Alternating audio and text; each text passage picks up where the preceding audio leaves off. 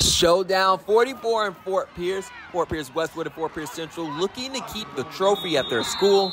And the Cobras have won the last two in the series, both by just a single point.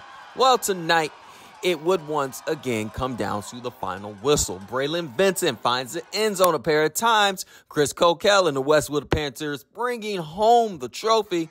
They win this one 20 to 17. Westwood is now 4 1 on the year when they play at Lawnwood Stadium.